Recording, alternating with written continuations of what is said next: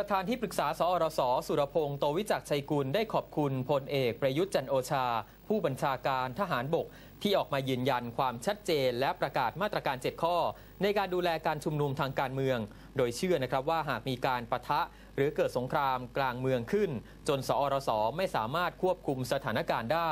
ทหารอาจจะประกาศกฎอายการศึกเพื่อดูแลสถานการณ์ซึ่งเป็นการกระทำตามรัฐธรรมนูญ พร้อมยืนยันว่าสอรสยังตรงคงติดตามการชุมนุมอย่างต่อเนื่อง และก็ได้เตรียมพร้อมรับมือยกระดับการชุมนุมใหญ่ของกปปส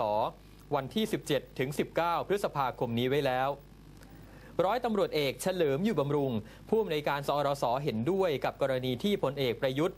ออกมาประกาศมาตรา 7 ข้อนะครับมาตรการ 7 ข้อ ในการดูแลสถานการณ์การชุมนุมทางการเมือง และพร้อมสนับสนุนหากเหตุการณ์บานปลาย จนกองทัพต้องประกาศกฎอายการศึก ส่วนการจัดการเลือกตั้งถึงแม้ว่าการหารือระหว่างรัฐบาลกับคณะกรรมการการเลือกตั้งจะไม่ประสบความสำเร็จแต่ว่ารัฐบาลก็ยังยืนยันว่าจะปล่อยให้กกตเดินหน้าจัดการเลือกตั้งตามหน้าที่ ซึ่งหากกกตไม่จัดการเลือกตั้ง ถือว่าทำผิดกฎหมายครับ